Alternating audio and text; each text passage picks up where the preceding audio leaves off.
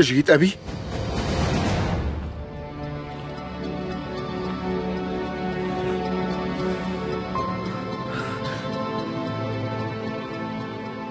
الله ينصرك يا ابني.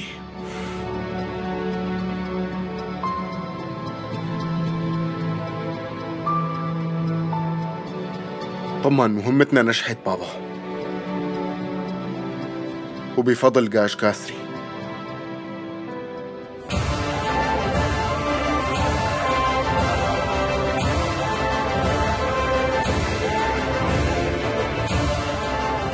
مبروك يا جاج كاسري. أنا بعتذر منك كتير. لأنه مثل ما بتعرف بهي الظروف الصعبة ما راح أقدر أعمل استقبال يليق فيك. ولا يهمك سعادة الملك.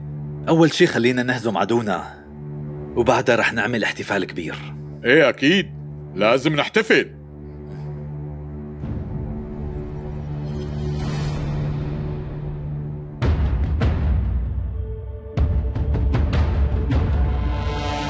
مين بيكون؟ ابنه لسابوكتيجين اسماعيل. جبناه لهون. مجبورين. نحن ما كان عنا خيار تاني. امم جاج كاسري بتمنى يكون معك السيف اللي عطاك اياه همراج معي. معناها هلا بتجي معي. لأنه صار لازم ترتاح شوي وبعدين بتفتح الكنز.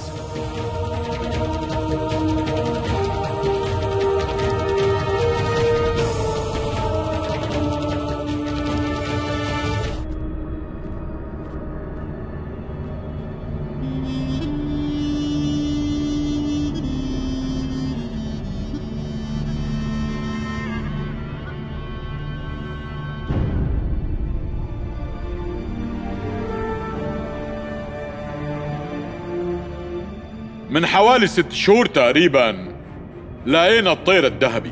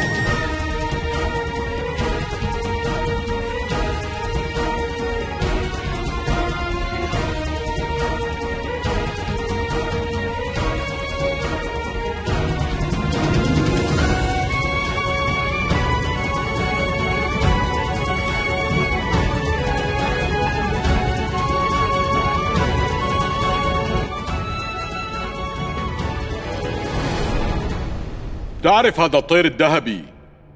رمز ازدهار الهند؟ واللي قبلك كان عم يحميه ويحرسه. الملك شيف دوت ضل حوالي 30 سنة يحميه وما كان يفرط فيه أبدا. وهلأ صار لازم أنت تحميه وتتولى هاي المهمة. ولو شو ما صار معك ما لازم تفرط فيه وتحافظ عليه كمان.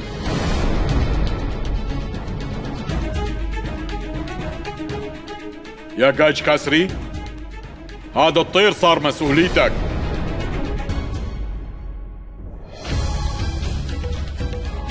ما عم بفهم. هيمراج ليش ما حكالي شي عن هي القصة؟ لا در اختارك لحتى تكون حامي هالطير الذهبي وعطاك طاقة وقوة سماوية لحتى تقوم بالمهمة. ولازم تعرف إنه القوة اللي بتملكها رح تساعدك. بس لازم تعرف كيف تستخدمها لتوحد الأرض. ولما بتستخدمها رح يكون في عواقب كتير. وقتها خبرني.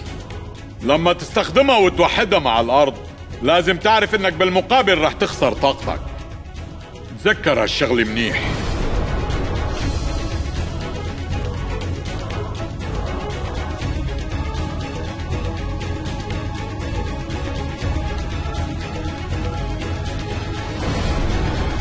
بس هلأ سابوكتيجين والجيش الكبير تبعه عم يهددوا وجود وأمن دولتنا. أنا ما بقدر أخسر قوتي بهي الظروف. لازم وقف بوجه سابوكتيجين وأهزمه وبعدين بعمل يلي علي. ورح أحمي الطير الذهبي وأحرسه منيح. ووقتها ما رح فرط فيه تحت أي ظرف. بس سابوكتيجين كل همه انه يسرق هالطير. وأنت لازم تحميه وتحرسه. طير هاد مسؤوليتك. ولازم تلتزم بهالشي. أنا بعرف مسؤولياتي كتير منيح.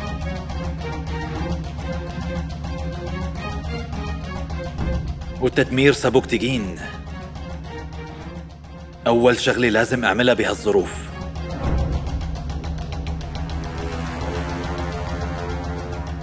كتير منيح. أنت شو خطتك هلأ؟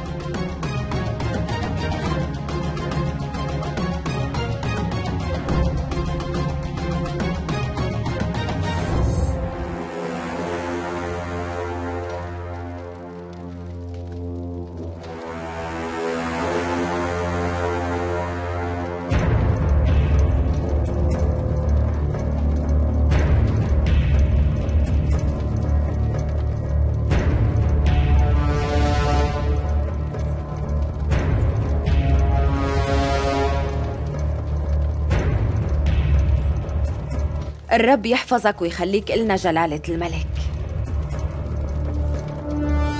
شي طبيعي كل أب يخاف على ابنه بهالظروف الصعبة.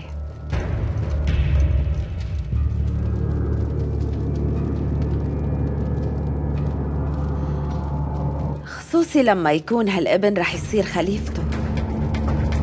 لهيك جلالة الملك لازم تلاقي حل للقصة بأسرع وقت ممكن. ليش؟ لأنه بعد فترة الناس رح يسألوا ليش اختفى بهالظروف الصعبة.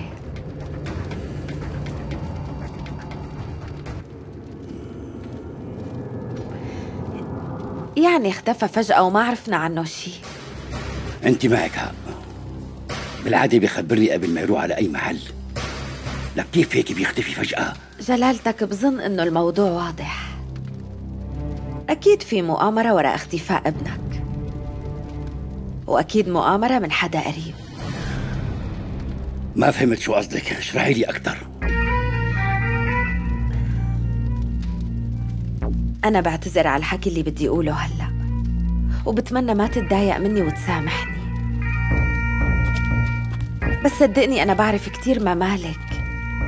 تدمرت بسبب هالشغلات هي. وأغلب المؤامرات اللي صارت كانت من ناس قراب من جوا القصر. صدقني جلالة الملك إنه مشان العرش. حتى الأخ مستعد يقتل أخوه.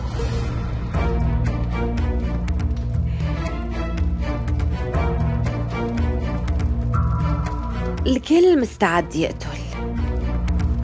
مشان يصير هو الملك.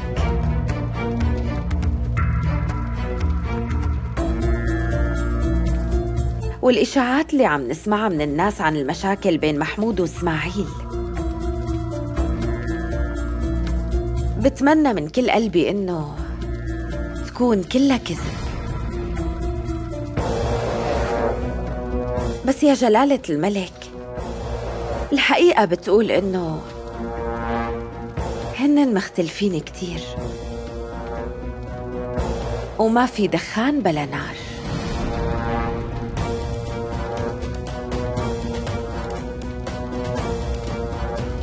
اطلعي واتركيني لحالي اطلعي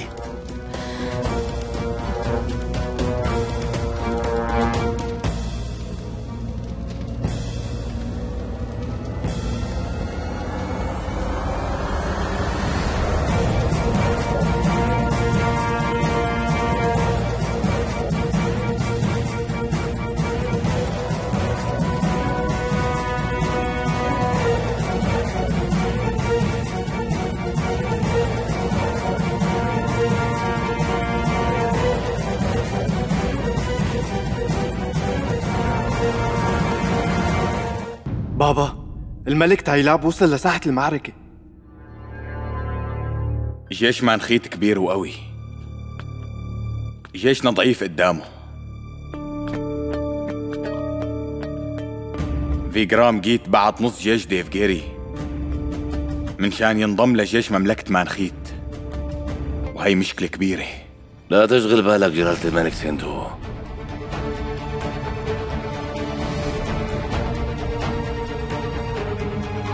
نحن رح نهزمهم ما في شك بهالشي. قائد كالاري جيشنا ما بيطلع قد نص جيش مانخيت. قلي كيف بدنا نهزمهم مملكة مانخيت وجيشها مكتوب عليهم الخسارة. لا تحاكيني بالألغاز. فهمني شو قصدك. قولوا لي يا ترى بتعرفوا كيف وضع الطقس بهالفترة؟ لما نهاجم عدونا لازم نعرف شو هو وضع الطقس. بهالوقت من السنة بتهب كتير عواصف رملية. منستغل الوضع لصالحنا وهيك منهزم عدونا.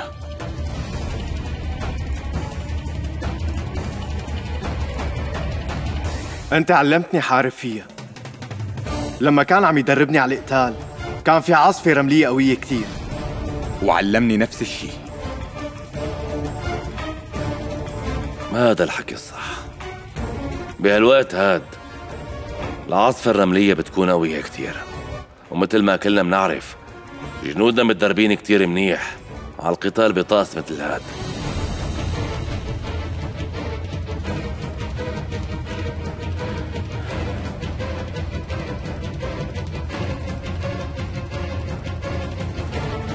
أنا وبوهج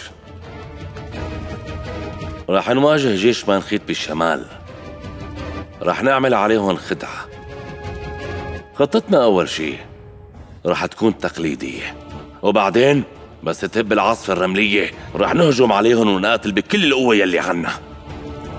بس في شغلة. بلكي هربوا من ساحة المعركة. أو قدروا يغيروا اتجاههم. وقتها بيضل لهم طريق واحد بس. واللي هو طريق الشمال الشرقي وبهالمنطقة في سهول ووديان كتير لهيك انت وجنودك رح تكونوا هنيك كل يلي هربوا بيوقعوا تحت رحمتك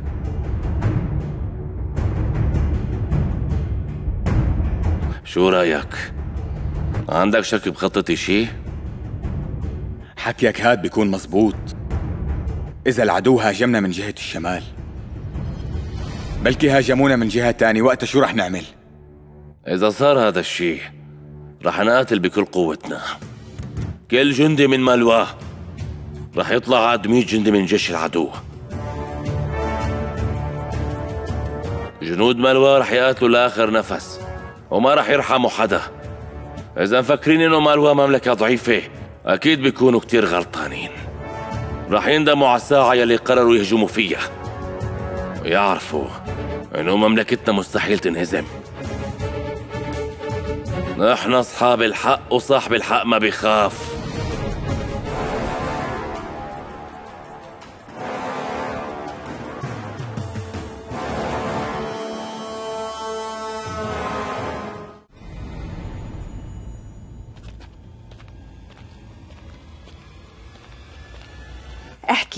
شو عندك معلومات؟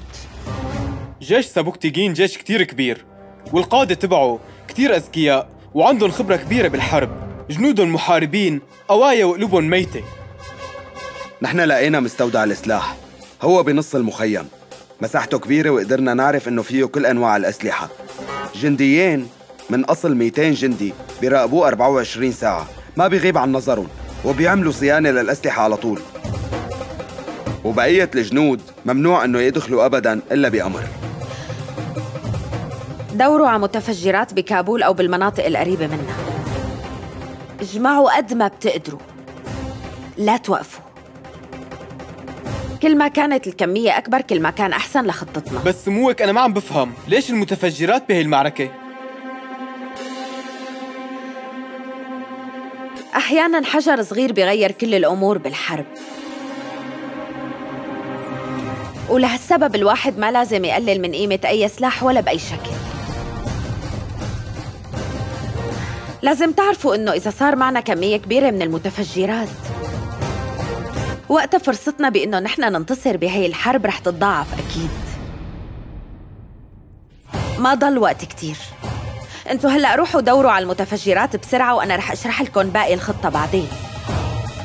انتبهوا لازم تدوروا بسرعة وبدون ما حدا يعرف بشي.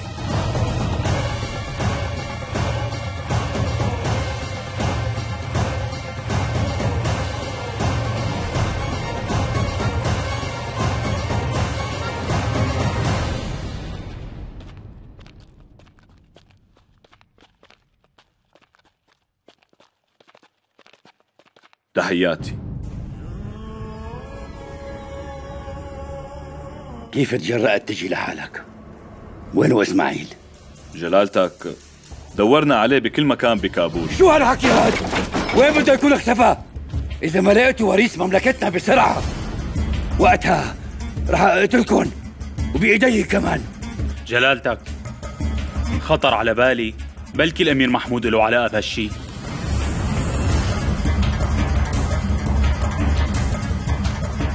بابا!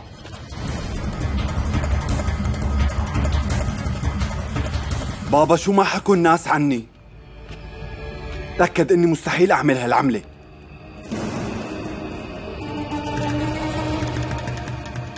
إسماعيل هو بيكون أخي الصغير وأنا مستحيل ساوي شي ممكن يأذيه. أنت عطيتني وقت لليوم بالليل. ومن هلأ ليصير الليل يا أما بلاقي إسماعيل يا بسلمك حالي. وبعدين أنا رح نفذ أوامرك وقراراتك بدون أي اعتراض.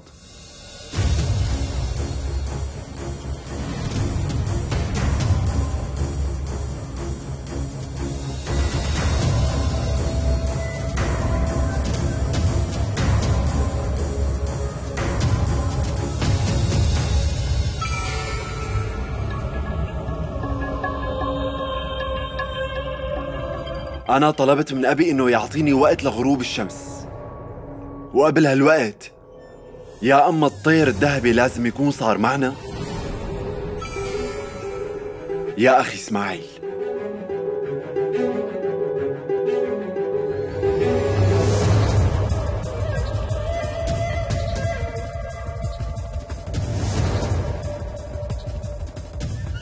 بعد ما صرت قريب كثير من النصر ما بقدر شوف أحلامي عم تتدمر بهالبساطة.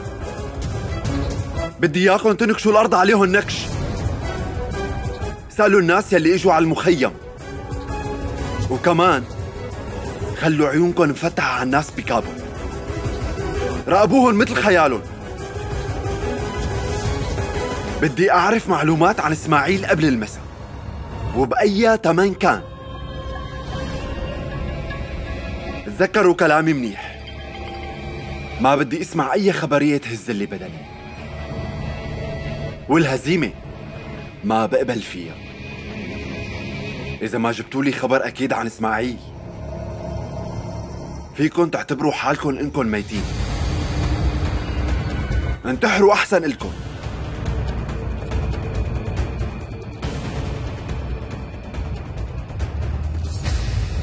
وهلأ كل لحظة بتضيعوها رح تضيع حياتكم معها يلا لشوف تحركوا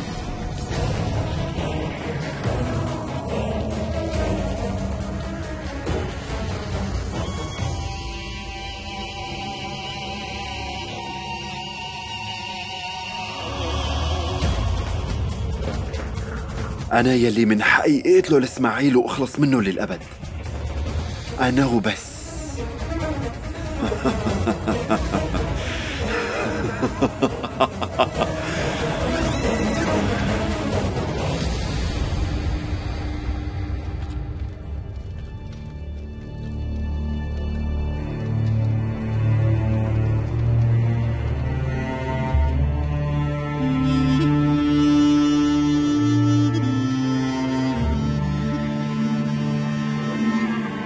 إذا عرفوا الجنود إنه جاج كاسري خايف.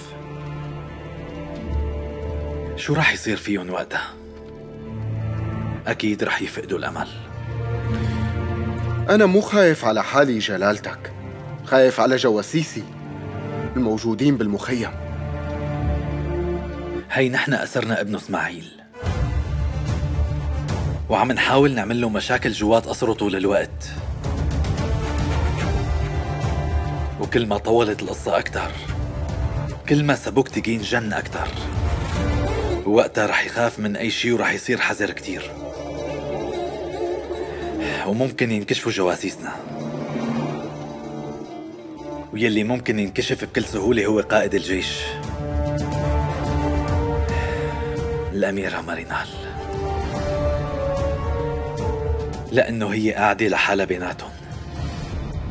لا تقلق جواسيسنا اخدين حذرهم كتير منيح. مع هيك سهل عليهم إنهم يكشفوا الجواسيس. ما بتعرف شو بيصير. اذا انكشف حدا. يمكن يعترف على البقية. ما تشغل بالك. نحن اليوم منقدر نروح على مخيم محمود ونجيب جواسيسنا. انت بس أعطينا الأوامر ونحن مننفذ فورا. وبأي وقت. ما حدا يروح. ولا حدا. أنا لازم روح لحالي على هذا المخيم. طيب مثل ما بدك.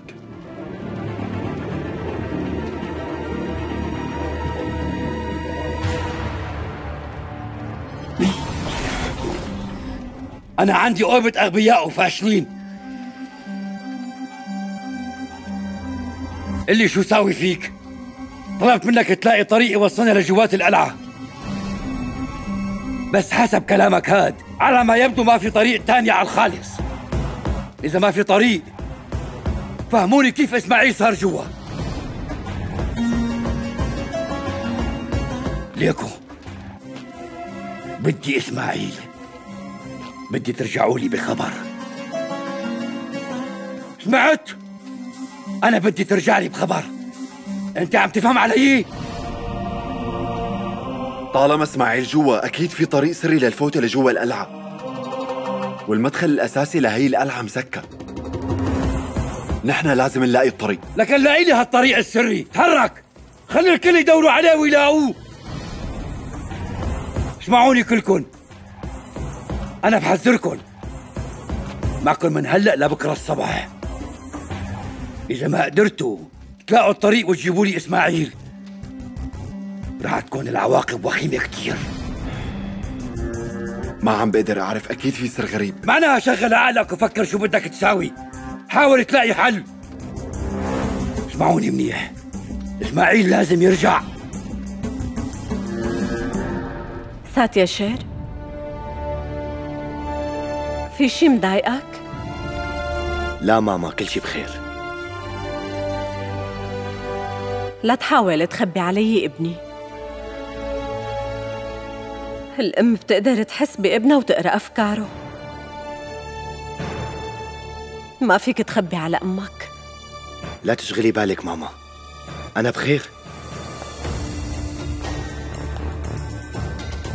طيب. مثل ما بدك ابني. ما رح أضغط عليك أبداً. بس الخوف ما بيليق بالملك المستقبلي. الملك لازم يكون قوي دائما ليحمي مملكته. وشعبه يحبه ويوثق فيه. أنت الوريث الشرعي لعرش مانخيت ورح تصير مسؤول عن كل أمور المملكة. ولحتى تكون ملك ناجح وشعبه بيوثق فيه لازم تاخد قرارات صحيحة. بس أنا بدي إياك تفكر وتاخذ القرارات بعقلك. مو بمشاعرك. لازم تفكر كملك. الملك اللي شعبه بيحبه كتير وبيوثق بقراراته. بدي إياك تصير ملك صادق بعيون الكل وذكي وحكيم. أنا واثقة فيك وبعرف قدراتك بس لازم تدير بالك منيح. بدي منك جواب. طمني انت رح تعمل هيك ورح تلبي طلبات أمك. هذا اللي رح يصير ماما.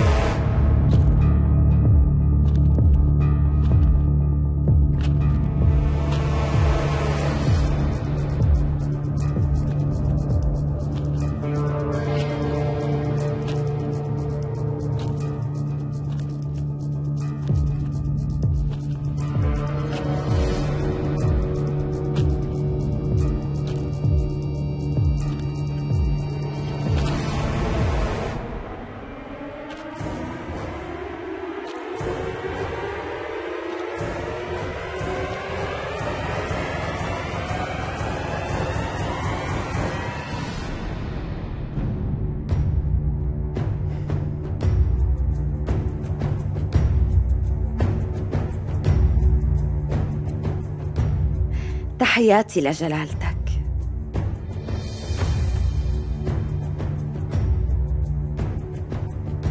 معقول الملك المستقبلي إجا لهون مشان يشوفني؟ لهيك بتمنى إني ما أكون غلطانة بشي. أكيد مانك غلطانة بشي.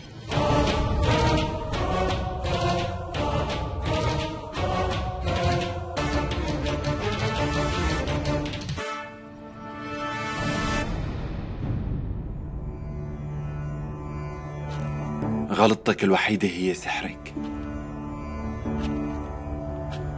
الناس لهلأ مو قادرين ينسوا ليلة امبارح أبدا.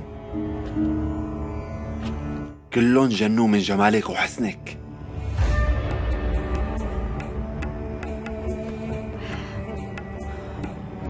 وإنت كمان؟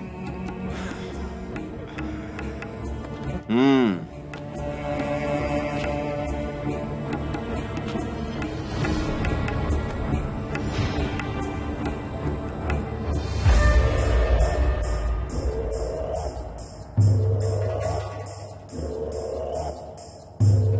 بدي اسألك. انت بشو شاطرة كمان غير الرقص؟ بعرف ساوي. أي شي بالعالم كله يخلي الملك مبسوط. حلو كثير. انت جاوبتي على سؤال بدون ما أسألك حتى. وهالشي كان دايما يعمله أخي إسماعيل.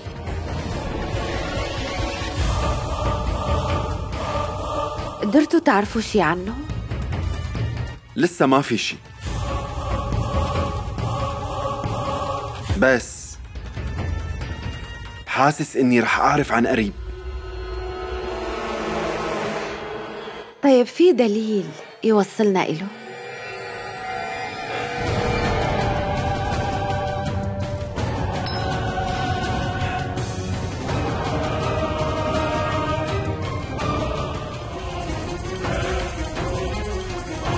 حلو كتير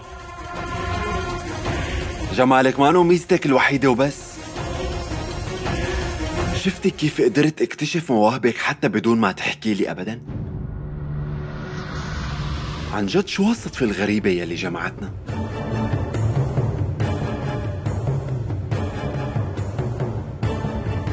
بس خلي ببالك عيلة جاجني ما بيآمنوا بالصدف أبداً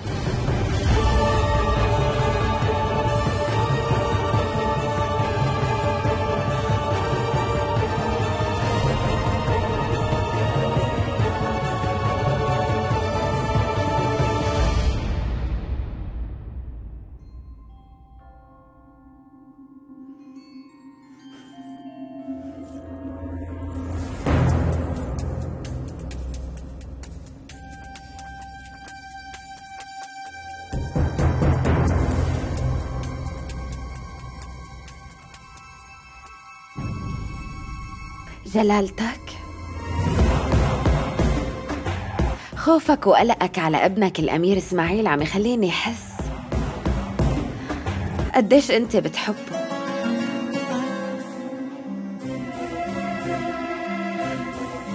بس ما في داعي تشغل بالك كل هالقد. أكيد راح على شي محل. خلي أملك بجنودك كتير كبير. هنن رح يلاقوا الأمير إسماعيل ويجيبوا لك إياه. وحتى سمو الأمير محمود راح ليدور عليه.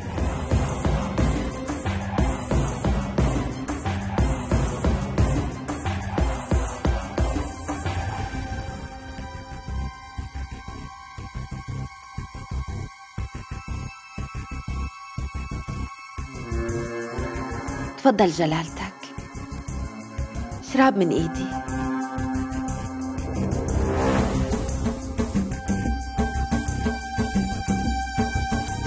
شراب وريح راسك.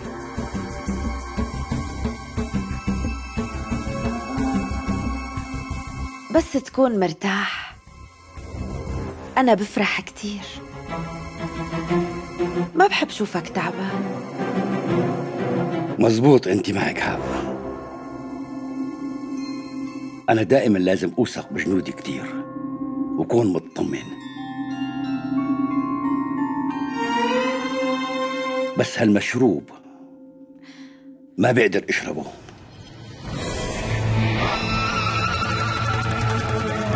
ليش جلالتك؟ أنا بعتذر كتير. بس ما انتبهت إني غلطت بشي. صدقني أنا ما كان قصدي ضايقك أبدا. أنت ما غلطتي. بس نحن عنا هون في قواعد للشرب. بتعرفي هالشي؟ خلص اهدي. ما في داعي تحسي بالذنب بالمرة. الغلط يلي عملتيه إنك ما شربتي ولا حتى شفي من هالكاس. خدي اشربي شوي.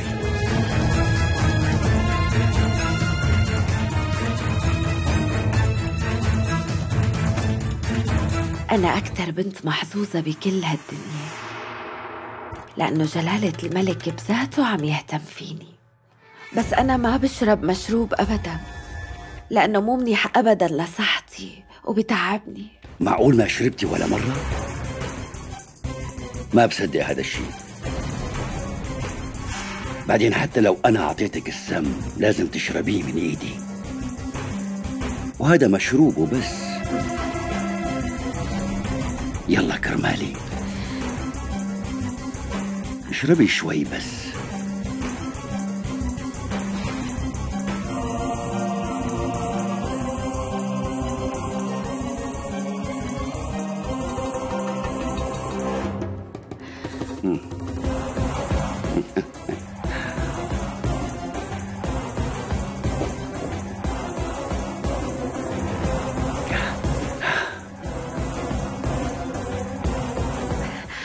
رح جيب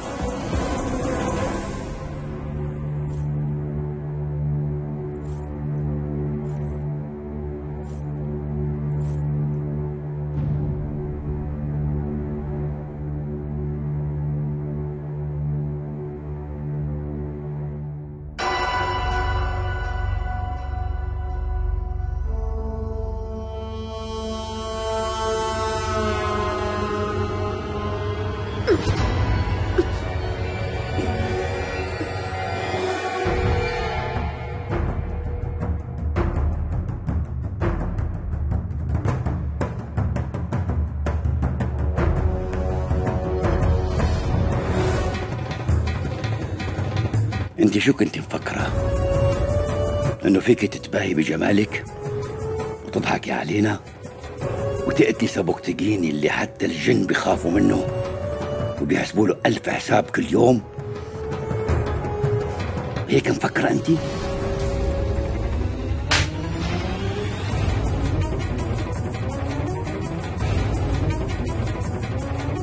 خذوها لبرا اهتموا فيها منيح خلوها تكره عيشتها الملك تايلاب اتفق على خيانته هو وفكرام جيت. هن اخذوه لمكان بعيد وطعنوه بظهره بدون رحمة.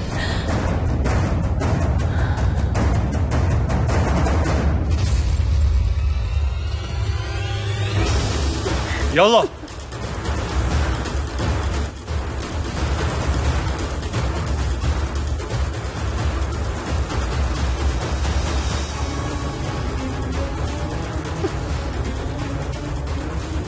شو بدنا نعمل فيها هلا؟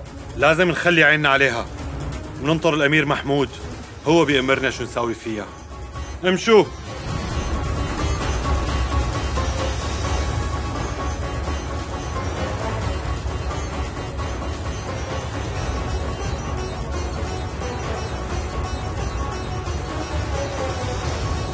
شو عم تعملي؟ ديري بالك إذا فكرتي إنك تهربي من جلالة السلطان هو راح يقطع لك راسك فورا